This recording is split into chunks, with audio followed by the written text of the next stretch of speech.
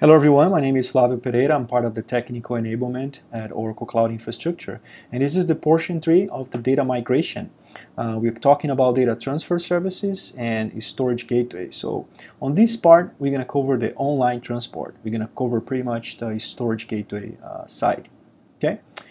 So for online transport, there's, you know, a couple ways you can do in order to move data from your on-premises environment to the cloud.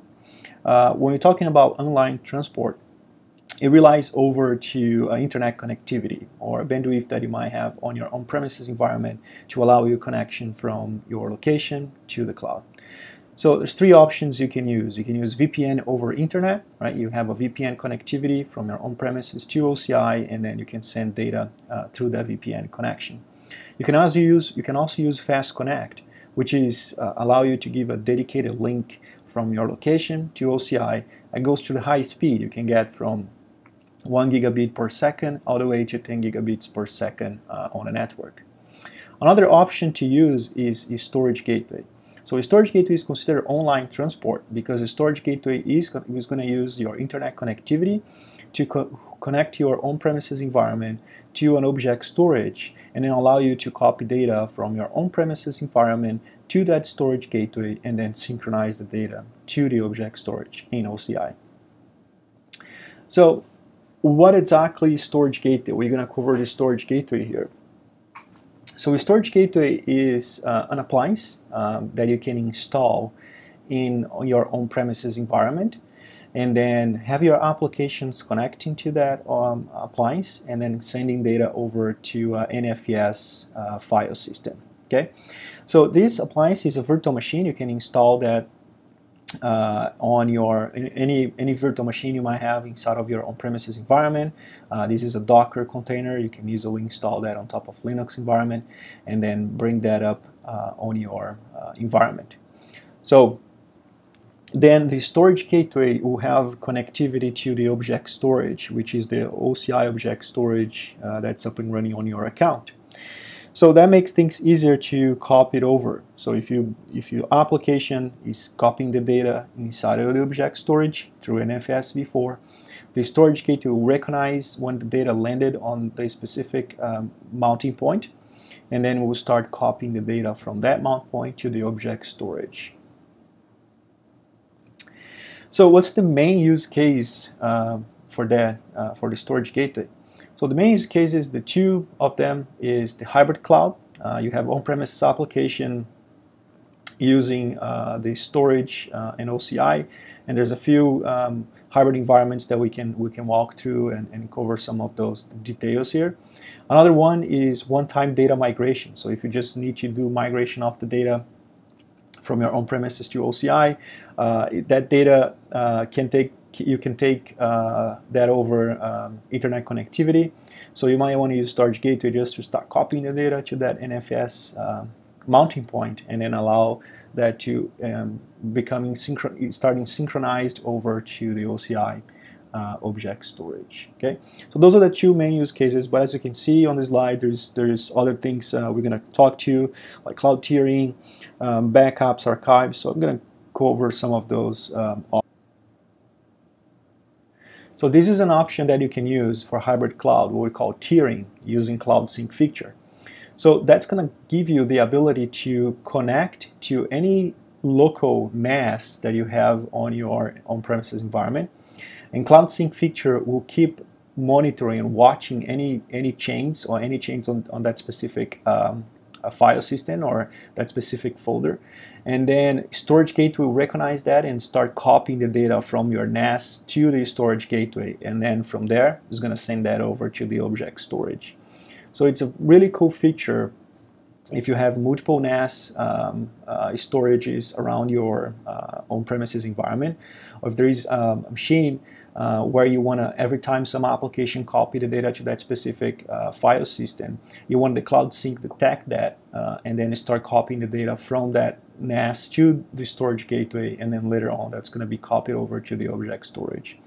So you can run multiple sync jobs in parallel. You can have multiple sync jobs uh, watching the, uh, the storage, your NAS, and then leverage that feature to start copying the data uh, to OCI.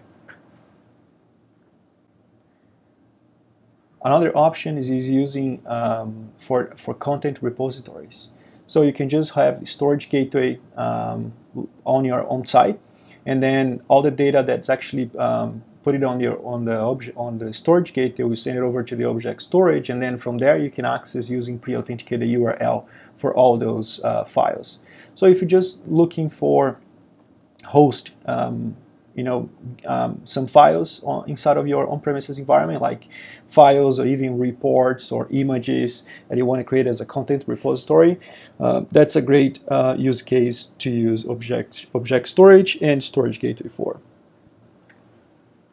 Another one is backup copies. Um, so usually, traditionally, like on-premises uh, environment, they use this three, two, one strategy uh, for for backups, right? What exactly that is. So uh, at least three copies of the data, that's one of the requirements. And then you have to use two types of different storage and at least one copy uh, has to be um, uh, put it offside, offside of your, uh, of your location. So you can use cloud environment for that.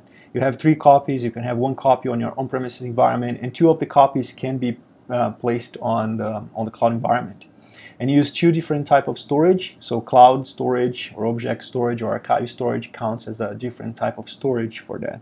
And then one of the copy will be placed uh, offsite.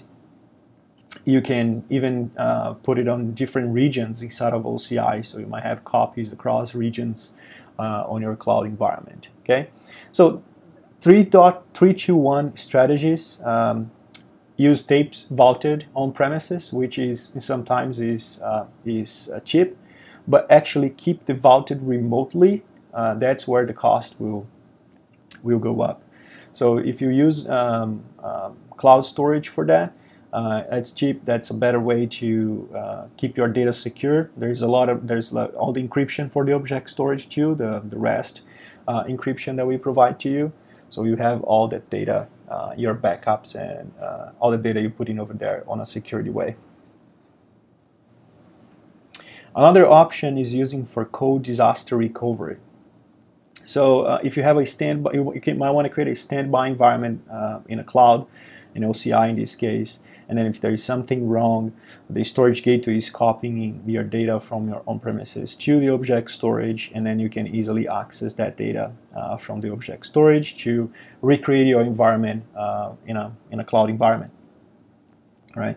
So it's easy to use that for code disaster recovery.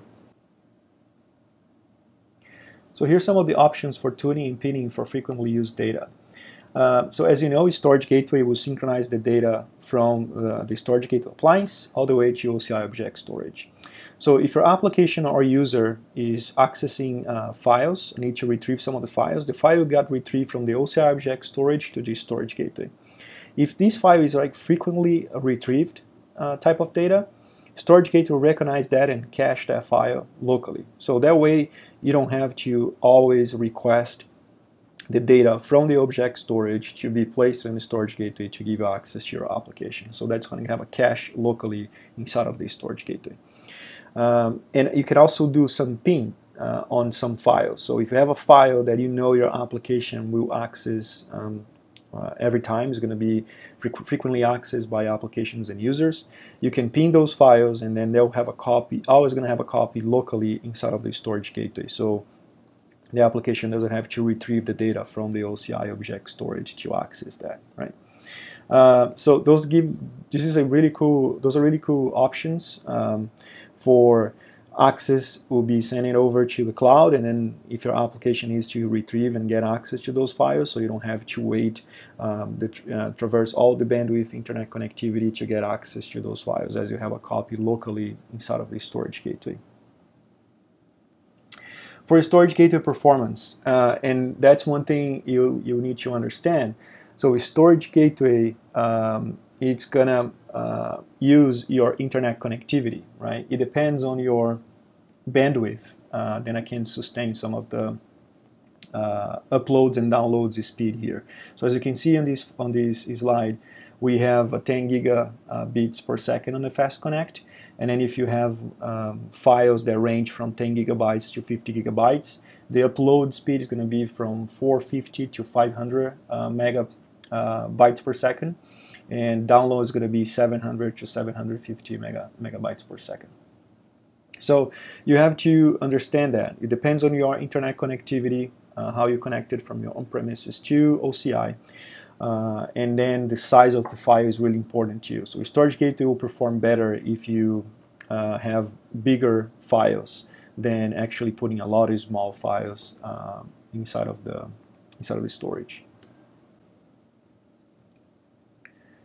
So here's some of the limits on the storage gateway resources. Um, you have to understand that the storage gateway doesn't exceed 10 file systems uh, per storage gateway. So if you need more than 10, the recommendation is to uh, spin up another storage gateway, a second storage gateway, uh, to bypass this limit. Another one is the local storage for file system cache, uh, which is important to understand as you're going to cache some of the files locally on the storage gateway.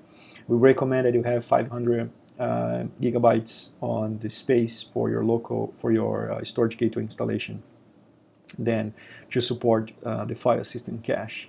The other one is the limit uh, of number for files that you're going to put on the cache. So the amount is 20,000.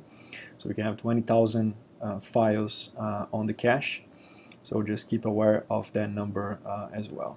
And of course, to improve all the performance, like I mentioned in the slide before, try to compress the files, zip the files. Uh, even if that's small, just combine them, zip them, so it'll be better. Uh, you reduce the number of objects on the namespace. So it's easy for, for storage gateway to synchronize data from the storage gateway to the, to the object storage. Here's some of the um, you know storage gateway FAQ uh, questions and some of the common questions that uh, you know customers um, ask when they're using storage gateway.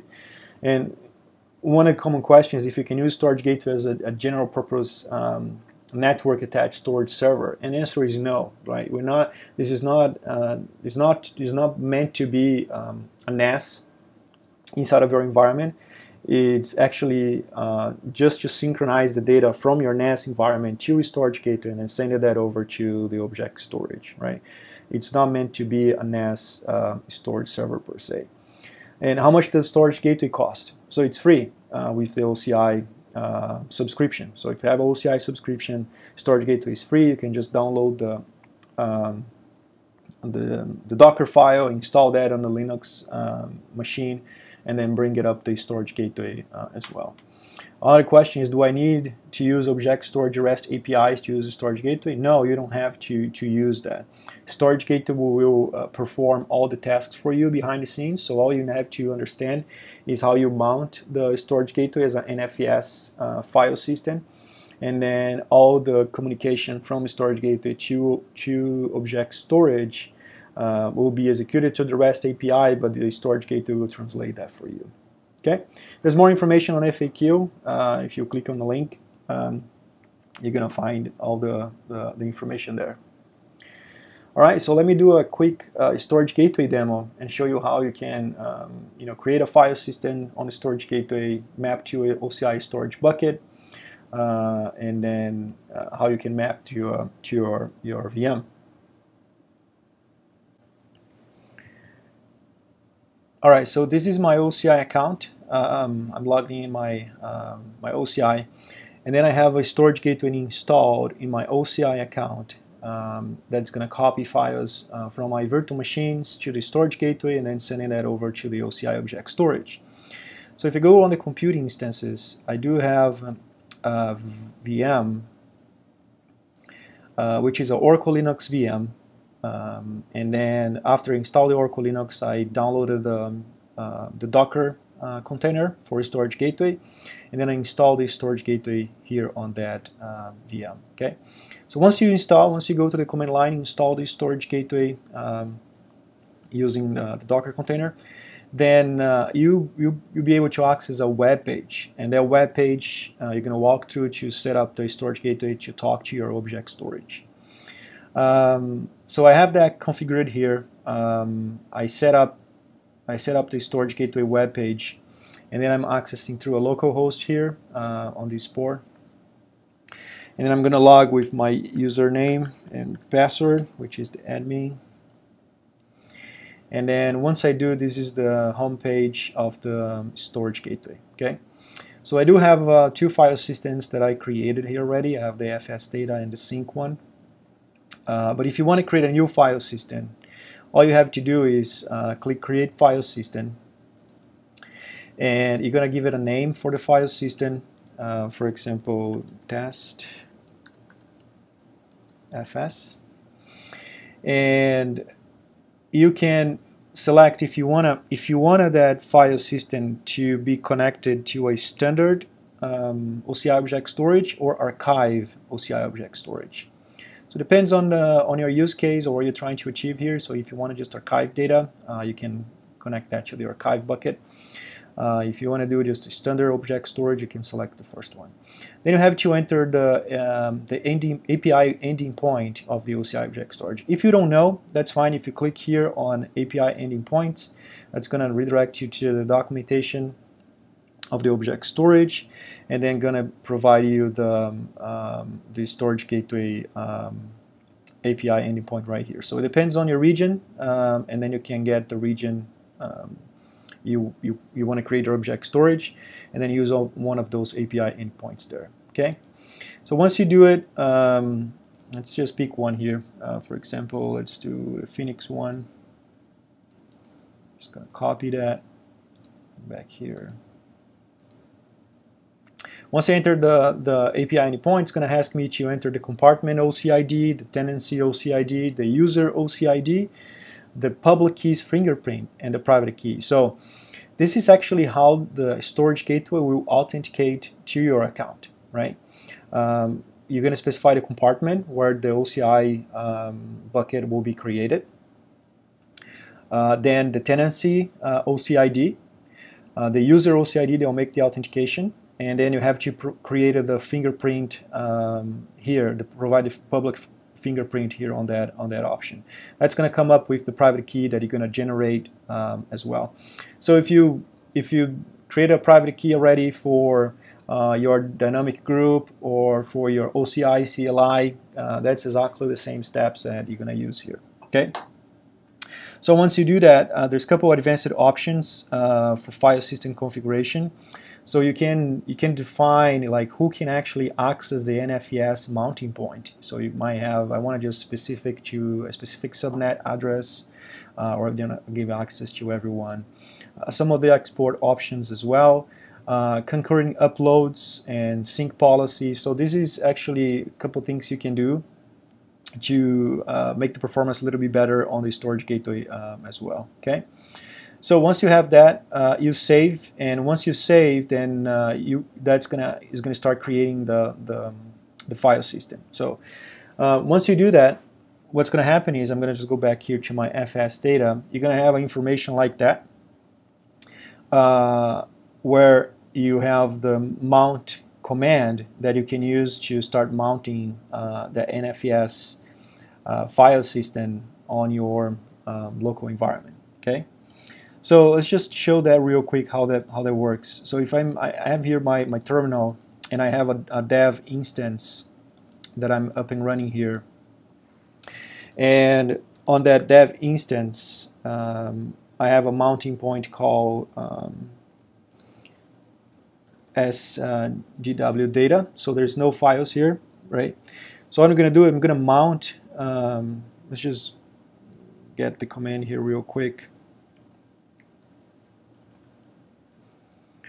Um, yeah, so I'm going to mount the NFS um, NFS um, file system. So 172.16.2.11 is the IP address of my storage gateway. Okay, and I do have the FS uh, data, right? This is the um, file system name that I created here on storage gateway, and this is the mount point that I want to use. So SGW data. Okay, uh, so before I do the mount, let me just go back here to the OCI account and show you the object storage. So there's an object storage associated to this FS data that I created on uh, that I created on the storage gateway, which is that bucket here. And then you can see that bucket, there's one just um, uh, file saying the version of my storage gateway, right? So this bucket is associated to the storage gateway. So every file I copied over will show up here uh, on the bucket. So let's do a quick test. Let's just mount this here. Then now if I go to the SGW data, so if I create a file, just say touch Flavio uh, text, um, and then we're going to see if that file will show up here um, in a minute. So let's just go back here in the matrix, just go back to the objects, and there you go. So you can see we already synchronized the file from the storage gateway to my object storage. So I can see the file here. Of course, this is a small file, right? Um, there's nothing on it. Uh, but once we start copying uh, directories or you know zip files over to the mount point, all the data will start synchronized over over there. So if you go back to the storage gateway page, uh, you can see some activity um, information. So that will show you the activity of uh, synchronized files um, here. Um, as it's just a new one, I don't have any complete uploads, just kind of refreshing, getting the data from there. Uh, you can change some of the settings uh, as well, so after the fact. So if you want to do um, some of the uh, change the compartment or change the object storage, you can do that too. So the only thing you have to do, you have to disconnect the file, and then there's um, options to change that after after you disconnect. Okay. Yeah, so this is how the storage gateway works, um, pretty straightforward. So if you if you want to use the Cloud Sync option, which is synchronize the data from a specific um, NAS, and then once that uh, happens, you start copying data over to the OCI object storage. Uh, on the Cloud Sync, you can start creating the job, and then once you do it, you provide the source and the target path, right? So where exactly is the, the source and the target, and then um, and then we'll, we'll storage gateway will monitoring will monitor that and then uh, we start synchronize data from one location to another one okay? Um, yeah so this is a quick demo of um, how a storage gateway works and I hope that helps you to actually you know start moving the data from your location to OCI this is one of the options um, to use to start moving moving our data. Okay? Yeah thanks for watching